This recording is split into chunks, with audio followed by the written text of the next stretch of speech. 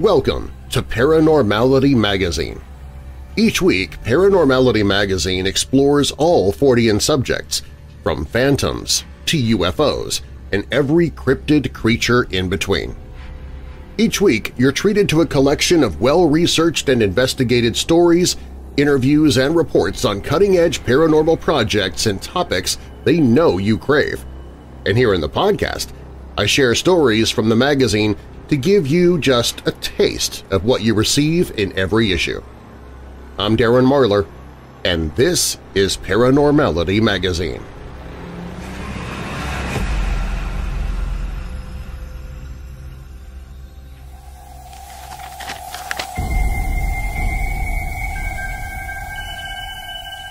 In this episode, we begin with a story of high strangeness from South Africa – Chaz CMP brings us an article entitled Have You Any Water?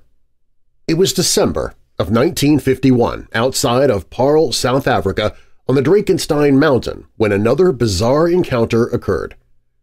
Today there is a tunnel that passes through this mountain range, but in the 1950s one had no choice but to make the much longer journey over the mountain. The witness, who was identified as Henry, made one such trip in his pickup truck one warm summer evening. He'd been working on his truck and wanted to test it out to ensure the job was finished. A quick trip up and down the mountain was all that he had in mind. Henry drove toward the top of the mountain until he reached a plateau near the peak. He decided that this large, flat area was best to turn around, but before he did, he took a moment around 11.15 p.m. to take in the beauty of the evening. The moon was in the sky that night, partly obscured by the surrounding peaks casting their large shadows of darkness across the plateau.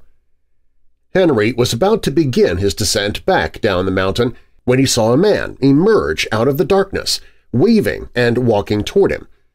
The man walked up to Henry's truck and asked him, "'Have you any water?' Henry informed the man that he did not have any, but the man insisted that he was in desperate need of some. At this, Henry told the man that there was a stream a little further down the road that they could use. The man asked how far this stream was, and after being reassured it was nearby, he hopped in Henry's truck. As the two men drove toward the stream, Henry quickly observed his new passenger. The man sitting next to him looked human. He was wearing an off-white lab coat, regular trousers, and shoes. His head was topped with neat brown hair, and he was clean-shaven. Overall, he looked to be about 40 years old. However, Henry also noticed a few strange things about the man's appearance. His forehead seemed to be slightly protruded, and his hands had long, delicate fingers that Henry described as looking almost effeminate. He was also remarkably short, at under five feet tall. Henry also said the man's accent was bizarre, and while he admitted that South Africa was home to a lot of bizarre accents, he was certain that this one was more strange than usual. When they arrived at the stream, Henry asked the man if he had a container to hold water, to which the man replied no. At that, Henry remembered he had an emergency oil container in the back of his truck that they could use. When the oil can was reasonably cleaned and filled with water, the two men got back in the truck. Henry navigated a difficult three-point turn on the narrow road, and the two men were off, heading back toward the plateau. When they got there, the man instructed Henry to drive a little further into the shaded area from which the man had originally emerged. As they drove into the darkness, Henry saw a large metal sphere that hung about 100 meters off the ground. It was perched on four legs with a ladder descending from underneath it. The sphere was between 10 and 15 meters in diameter, but not very tall, only being about 4 meters in height, including the legs. The small man got out of Henry's truck, walked over to the craft's ladder, and invited Henry to come aboard. Henry was hesitant, but the man waved at him in reassurance, and the two ascended the ladder. Inside the craft, Henry observed what seemed to be a large circular room, there were four other men inside that looked similar to Henry's new companion, but they appeared to be a few years younger. Henry then noticed one of the men was lying on the floor of the craft, and the others were crowded around him. It became clear that the man lying on the floor was injured. Henry's guide informed him that the man had suffered burns upon entering the atmosphere when one of their windows had broken. Henry offered to get the local doctor to help them, but the man refused. The other four men continued about, as if Henry wasn't even there and only the original visitor spoke to him. Henry next noticed a strange panel in the center of the room, and here's how he described it. In the middle of the room, I spotted some levers, something like those in a railway signal box. They seemed to be about one meter in length, the tops ending in a sort of two-pronged forked handle, just like the handbrake in old motor cars. From where I was, I could not see how many, but maybe eight in two rows. They protruded from the interior of the object, below the floor. I could see the rectangular slits through which they protruded. Behind the levers I could see some sort of table, more like a console. I thought there might be some dials, some instrument panels, but saw nothing like that. This being my job, instrumentation engineering, I noticed everything very clearly. He also noticed that there were seats around the walls of the craft that seemed to be covered in some kind of leather. The craft was well lit, but Henry could not see any light source. There were windows circling the craft that were two feet by three feet in size and were square-shaped with rounded corners. He also noted that none of its windows were broken. The floors were metallic and slippery and had some kind of strange pattern that he could not quite recall.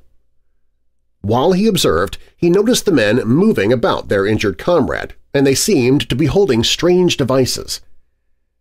After giving the water to one of the other men in his group, the original visitor came back to where Henry was standing. The short man then asked Henry if there was anything he wanted to know. As an engineer, Henry's first question was, where are the engines? The man told him there were none, and that the craft used a type of gyroscope that spun heavy metals around it. The spinning of this liquid metal would create an independent gravity field for the craft, and that is how it functioned. Henry then asked where the men came from. In response, the short fellow simply pointed upward, out the window to the stars. He would not elaborate further. Henry then remembers climbing back down the metal ladder and returning to his truck, speculating that his entire time aboard must have been no more than 15 to 20 minutes – he thought about the craft and the strange small man his entire way home, and that night he fell into a deep sleep. He slept so deeply, in fact, that the next day he was unsure if the event was a dream or not. So he returned to the plateau. He found no craft there, but there was an indentation in the ground where its legs had once stood. He then thought to check the back of his truck where he discovered that his oil can was gone.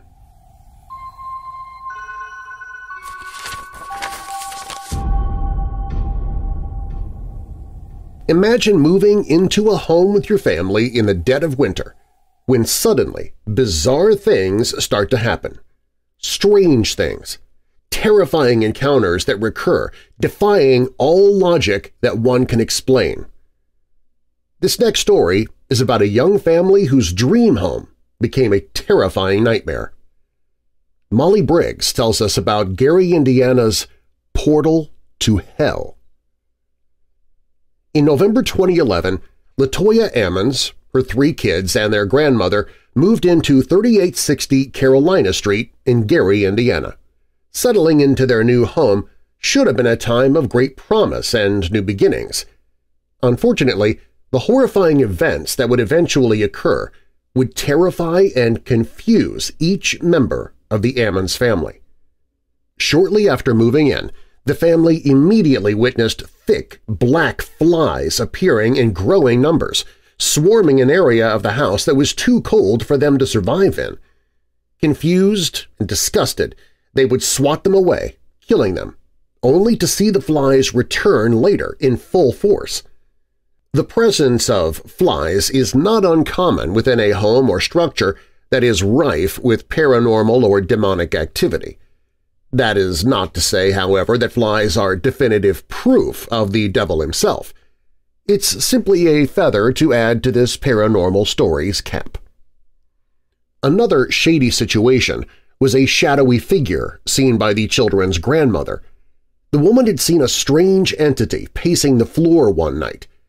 As she moved toward the dark, ominous figure, all she found was a pair of soggy footprints where the shadow had been. At this point, it feels reasonable to say that most people would have gathered their things and said goodbye to this creepy cabana by now, moving out faster than a rat through a drain pipe. But not the Ammons family. Armed with a Bible, holy water, crucifixes, and candles, they chose to stay and fight whatever dark entity had taken over their new home. Ultimately, it would be a decision they would regret. Four months after they moved into the home, a horrifying, unexplainable event would set the unwelcome wheels of terror in motion. While the family was grieving the loss of a loved one, many people within the home witnessed Latoya's 12-year-old daughter levitating above her bed.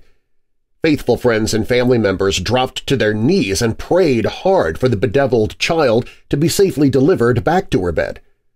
Once their prayers were answered, the terrified people spilled from the home like a cup of water overflowing, never to return. Swallowing their pride and reaching out for help, Latoya and her mother quickly found that finding someone to exorcise 200 demons from a home was a task much easier said than done. Two psychics sensed that at least 200 demons were residing inside the Gary, Indiana home. The activity in the house was so threatening that both psychics suggested the only thing the family could do for their safety was to move. Most churches in the Gary, Indiana area denied the desperate women the slightest help with their demon problem. They did, however, offer some holy advice. The cowardly clergy told the women to clean the home, preferably with ammonia and bleach, they were then told to smear oil down and around all doors and windows for extra measure. One may ask, why stop there? Why not rub your belly, pat your head, and shout Rumpelstiltskin thrice fast while clicking your heels together? That sounds like an equally efficient recipe for getting rid of rascally demons. It wasn't long after that whatever was possessing the home seemed to be affecting the children. While playing in the living room one afternoon, one of the young boys spoke in whispers. The child chanted bizarre, hateful phrases like, I will kill you, and It's time to die. Some reports vary. However, it is speculated that during that same event, the other children joined in until, ultimately, they began attacking each other and their grandmother physically. It's said that while chanting, the children's eyes would start to bulge, and their natural effervescent, childlike smiles would creepily turn up into an unnatural grin. All family members felt the effects of the dark entities haunting the Ammons home. The smallest of the three children had taken to communicating with the boy who could only be seen by him. In one horrifying encounter, the youngest Ammons child was picked up by an unseen force and thrown across the room. As time passed, the activity in the home increased, making a regular daily routine impossible. The children missed many days of school, which ushered in the assistance of multiple doctors and DCS caseworkers. On one of the memorable visits to the doctor's office, the doctor noted the children's delusional behavior and bizarre, disturbing statements. As the children stood in the office with family and office staff present, including a nurse and a DCS worker, the youngest child flew into the air, the origin of the force that propelled the boy could not be seen. The same child then commenced to walk up a wall. The boy defied gravity and flipped directly over his grandmother. Following the alarming event, medical staff were seen fleeing from the room, leaving the family more desperate than ever. Feeling as if their hands were tied, DCS, together with the authorities, removed the three children from the home. Although Latoya Ammons had thought to a certain degree that she could beat the heady demon, the state of Indiana had enough. The final act of the pure evil lurking within Latoya Ammons' home was to separate her from her kids. It would prove to be the cruelest act of all. In an effort to come to a clearer understanding of what may be happening within the home, DCS and the police made multiple trips to the house to investigate. Officers noted that an oily substance was found dripping from the blinds covering windows inside the home. After the blinds were cleaned and dried, the oil returned with no explanation as to the source. One worker haphazardly dragged her hand across the slick shades, smearing her palm and fingers with the ominous oil, which curiously turned parts of her hand white. Police investigating the home reported witnessing apparitions as well as experiencing radio malfunctions. Just prior to leaving the home for good, Latoya Ammons agreed to be subjected to a good old-fashioned exorcism, a religious act done only by a priest and by the explicit permission of a bishop. Three exorcisms later, Latoya was feeling more like herself. After a short time, she moved away from what some have called the demon home and straight to Indianapolis, quickly regaining custody of all three children. As for what eventually happened to what some media outlets have dubbed the Portal to Hell house, it was bought by a fairly well-known ghost hunter for $35,000. After filming a documentary about Latoya Ammons' story, the ghost hunter had the structure torn down for public safety. A curious move, to say the least. Was the teardown an effort to save curious investigators from potential mental or physical harm, or was it to ensure that future filming of the now infamous property would be impossible? We may never know. One of the particulars of this strange case begs the question of whether or not the spirit world can actually affect our physical bodies. During the filming of the documentary, many people became ill. One investigator suffered major organ failure, another experienced uncontrolled, violent behavior, and yet another was prone to fly into a rage without any conscious intention of doing so. These are just a few examples of strange instances occurring in or around the home, just after or during an investigation. Albert Einstein said, energy cannot be created or destroyed. It can only be changed from one form to another. This may be a quote to revisit when questioning the existence of malevolent entities. The Portal to Hell story of horrors gives credence to the testimony of Latoya Ammons and the thousands of others like her all over the world who continue to face legions of demons alone, with nothing but courage, tenacity, a few shakes of holy water, and prayer on their side.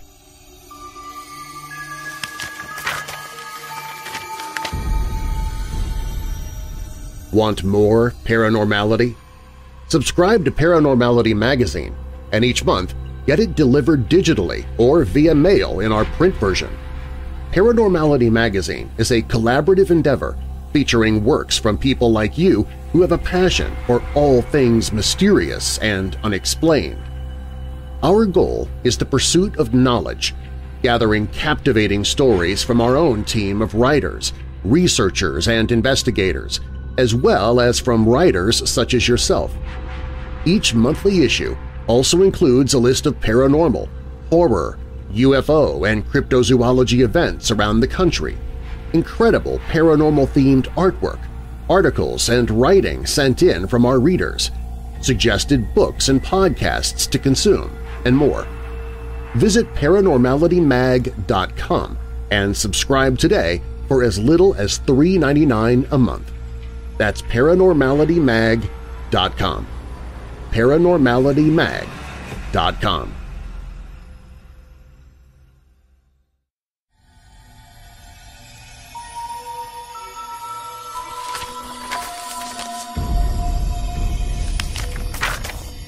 Seeing as this is October, the month of Halloween, I thought it might be fun to bring you an article by J.A. Kirk from Paranormality Magazine entitled The Evolution of Halloween Costumes.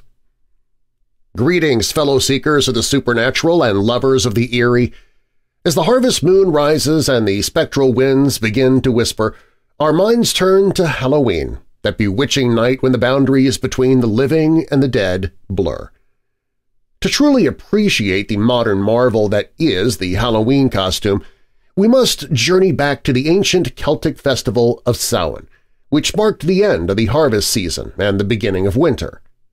During this time, the Celts believed that the veil between our world and the spirit realm grew thin, allowing the souls of the departed to return. To ward off malevolent spirits and to blend in with the supernatural entities, the Celts donned elaborate costumes made from animal hides and masks carved from gourds. These disguises were as much a means of protection as they were a form of celebration. With the spread of Christianity, Samhain evolved into All Saints' Day and All Hallows' Eve, or Halloween. Costume traditions persisted, but they gradually absorbed Christian influences. People began to dress as saints, angels, and demons, using costumes as a way to educate and entertain during religious festivals. The 18th and 19th centuries witnessed the rise of Gothic literature and the emergence of the macabre in mainstream culture. Literary works like Mary Shelley's Frankenstein and Bram Stoker's Dracula inspired a fascination with the supernatural and monstrous. As a result, Halloween costumes took on darker and more sinister themes. People embraced their inner monsters, vampires, and ghosts with morbid delight. The 20th century ushered in a new era of Halloween costumes influenced by popular culture. Iconic figures from film, television, and comic books became sources of inspiration. The 1930s saw the emergence of classic horror movie monsters like Frankenstein's monster, Dracula, and the Mummy as beloved costume choices. The post-World War II period brought with it the baby boom and a surge in children's Halloween celebrations superheroes, beloved cartoon characters, and space explorers became the favorite attire for young trick-or-treaters. This era marked the transition from homemade costumes to store-bought ensembles, giving rise to the commercialization of Halloween costumes. The 1960s marked a period of DIY creativity. Halloween costumes became a canvas for self-expression and political statements – people embraced the freedom to craft their own costumes, often drawing inspiration from psychedelic art, iconic musicians, and cultural phenomena. The 1980s witnessed the resurgence of horror in pop culture. Slasher films like Halloween, A Nightmare on Elm Street, and Friday the 13th dominated the silver screen. This led to a resurgence of classic horror figures as popular costume choices, the 1980s also brought about the influence of video games, with characters like Mario and Luigi becoming Halloween staples. In the 21st century, Halloween costumes have fully embraced the influence of pop culture. From beloved movie characters like Harry Potter and the superheroes from the Marvel and DC universes to trending memes and viral sensations, costumes have become a reflection of the times. The rise of cosplay, a subculture dedicated to dressing as fictional characters, has further blurred the lines between Halloween and fan conventions. Cosplayers spend months crafting intricate and detailed costumes, elevating the art of costume creation to new heights. As we look to the future, it's clear that Halloween costumes will continue to evolve. Technology, including 3D printing and smart fabrics, will enable even more creative and immersive costume experiences. Virtual reality and augmented reality may offer entirely new ways to transform into fantastical beings for Halloween night. The evolution of Halloween costumes mirrors the changing cultural landscape. From ancient traditions rooted in mysticism to modern expressions of pop culture and personal creativity, Costumes have become an integral part of the Halloween experience. As we embrace the unknown and venture into the supernatural this Halloween, let us also celebrate the ever-changing art of costume creation. Happy Haunting!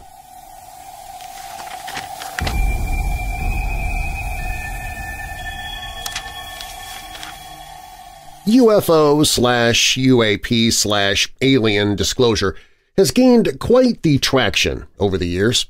One part of social media seems to be flooded with videos of lights and objects in the sky, while the other part is inundated with videos of testimony from government whistleblowers and experts claiming aliens exist. Whatever you believe, one thing that holds true is that this is not a new phenomenon. For decades, people have been talking about the existence of non-terrestrial life forms. UFOs and strange beings have been painted in caves, ancient structures, and Renaissance art. People have been experiencing these phenomena for centuries.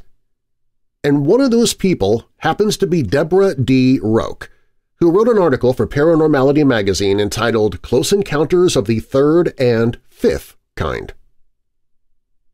I was in ninth grade when I first encountered a UFO. It was a school night, though I cannot tell you the date or day.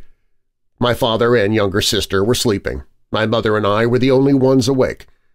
I do not remember what I was doing awake, but I recall it was past my bedtime. My mother was outside hanging clothes out to dry. It was not unusual for her to take advantage of the still hours of the night to do laundry. We lived in Miami, near the Miami-Dade College North campus, and if you lived in Miami during the 90s, then you know the scariest thing around was not paranormal. It was the streets. This is why it always surprised me that my mother did her laundry outside at night, knowing it was risky. Suddenly, I hear my mother yell my name, Deborah! I was startled because I never heard her call out my name like that before. Then I hear her call it again. I became concerned and ran outside to where she was by the clothesline. She took my hand, pulled me close, wrapped her left arm around my left shoulder, and crouched down to my height, pointing her right hand to the sky. She asked, "'Do you think that's an airplane?' I remember feeling annoyed and thinking she called out my name hysterically just for an airplane. Yes, Mom, it's an airplane. She wasn't pleased with that answer. She said, no, look again. An airplane doesn't move that slow. So I stared at it. And that's when reality started to creep in. I wasn't staring at an airplane. I was staring at a UFO. I can't remember if we said anything, but the next thing I knew we were running through the house and out the front door to the porch. We stepped out to the driveway. There it was, hovering, silent, bright, colorful, there were so many colorful lights that appeared to dance as they blinked in pattern. It was saucer-shaped. I do not remember the color of the rest of the craft. Maybe it was silver? Maybe it was black? I was too taken by the experience to even notice. I remember it hovered low, no higher than what a helicopter hovers when it searches for suspects. I also remember it hovered silently. Helicopters and airplanes have engines that hum. It also hovered motionless. It didn't tremble. It was as if something invisible suspended it. I don't know how long we stood out there just staring. All I know is that my amazement and wonderment slowly turned into absolute fear. I began thinking about all the alien movies and abduction documentaries I had seen, the most impactful one being the McPherson tape, which had terrified me because at the time I didn't know it was a found-footage film. I thought it was a real documentary. So when I saw this UFO in front of me, I believed I was going to be abducted. As the fear set in, I ran inside my house and sat in a corner of my kitchen where the refrigerator met the wall. I tucked my knees in and shivered so strongly that my teeth chattered. I was frozen with fear. Soon after I sat in the kitchen, my mom ran inside and went to get the camcorder to record the object in the sky. She struggled to get the camcorder working. It was big, bulky, and she was not tech-savvy. I stayed in my corner, praying and hoping we wouldn't be abducted. As soon as she got the camcorder working, my mom ran outside but came back almost as fast as she went out. "'It's gone,' she said, she couldn't understand how it could be gone so quick, being that it moved so slow and hovered so still. She was disappointed. I was relieved. I went to bed that night feeling wary. I climbed up to my bunk, and before I went to sleep I looked outside my window toward the sky to make sure nothing was out there and fooled myself into feeling safe. I fell asleep. The next day, my mother and I told my father what we saw.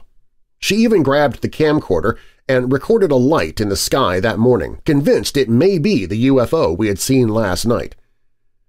My father, an atheist and skeptic, didn't believe us. He said it was probably some sort of government aircraft. I told my friends at school, who only considered believing me because my mother was a witness. My family didn't know what to think when we told them. They believed we saw something, but they chalked it up to the government, too. I started looking out my window every night after that day, and I did see more activity as the years passed, except I told no one. As an adolescent and young adult, when I'd travel or go out at night, I'd look to the skies where I would occasionally see things. Again, I told no one. I kept it all to myself. It was my personal secret, and each sighting was a confirmation that what I saw wasn't just an anomaly. It wasn't a government craft. It was something else, something bigger, something unknown, something personal, something unique, something only for me. I was disappointed. Disappointed at the lack of answers. Disappointed at the lack of trust disappointed at the lack of support. I couldn't understand why people didn't believe me. Why would I lie about this? What did I have to gain? I wasn't running and telling the tabloids or news. I was just trying to share a story with those I loved. But I was dismissed. Twenty years later, the disclosure went viral. I suddenly felt validated by the universe. I also realized that I was a part of thousands, if not millions, of people who shared similar stories and felt an equal sense of disappointment, stigma, judgment, and isolation, along with amazement, curiosity, and wonder. I felt seen and heard, though it wasn't my voice being used. Fast forward to today, where I'm learning more about what these experiences mean on a more personal level. After my most recent experience, I've reached a point where I'm no longer afraid of these encounters. I moved into my apartment last July with my husband and daughter. A couple of months passed before I began to see a light shine through my sliding glass door in the middle of the night. It happened for a few nights. What I found odd about the light was how bright it was and how it seemed to shine from the top rather than the bottom or side which would indicate a car was either exiting or entering the community. The fact that the light came from the top weirded me out, but not enough to investigate. After a few days, I began to hear a droning and melodic hum. I would wake up to this sound for a couple of nights. I knew it wasn't a truck, car, or the sound of the air conditioner. Something told me it was something else, but I didn't worry about it and would fall back asleep. This lasted a few weeks, until I saw them. I woke up one night and looked toward the corner of my room by the sliding glass door. There they were, two beings, one sitting on the floor with its knees tucked in, the other standing behind it. Both were looking at me. I remember staring at them for a few seconds. Some light shined through the window and allowed me to see some details. I noticed the one standing was about the same height as my light switch. I also noticed their skin color was a reddish-brown color. Their heads were large and oval, but it wasn't the typical elongated egg shape we're used to seeing in films. Their heads were wider. The chin wasn't long, though, it still looked somewhat pointed. The eyes were large, black, and shiny, as usually depicted. I recall them looking at me and me looking at them, but I didn't feel startled or scared. I just told myself to go back to sleep. So I did. In the morning I told my husband, and he was amazed. He said that I most likely had a connection with them since they visited me all those years ago. I told him it felt like what I saw was real, but I wondered if it was a lucid dream. I suppose I'll never truly know. What I do know is that I am not alone. pun not intended. I am a part of a community of individuals who have had similar experiences. Now I welcome these experiences and even seek them out. How? A close encounter of the fifth kind. I've done a CE5 meditation, not one guided by anyone. I did it on my own, using my intuition and experience. It did not disappoint, but that is a story for another day.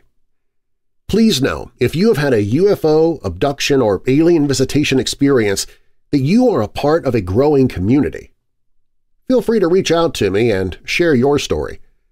Additionally, if you're having a hard time reconciling the encounter and are still battling feelings of confusion, disappointment, stigma, and judgment, I can help with that too. Keep looking toward the skies.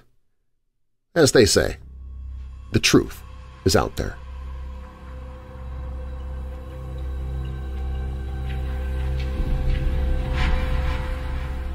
Thanks for listening to Paranormality Magazine. Get more information about the magazine and subscribe to our monthly publication at paranormalitymag.com. That's paranormalitymag.com or click the link in the show description. And if you're a researcher or investigator, send us your stories. We might feature you in our next issue. If you have a paranormal podcast, you can add it to our website so our readers can find your show and artists. If you'd like your work to be featured in our magazine or on our back cover, contact us. Again, our website is paranormalitymag.com. I'm Darren Marlar, and I'll have more paranormal for you next time from Paranormality Magazine.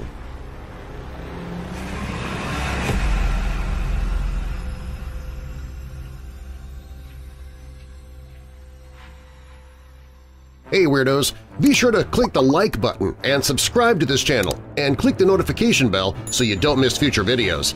I post videos seven days a week. And while you're at it, spread the darkness by sharing this video with someone you know who loves all things strange and macabre. If you want to listen to the podcast, you can find it at WeirdDarkness.com listen.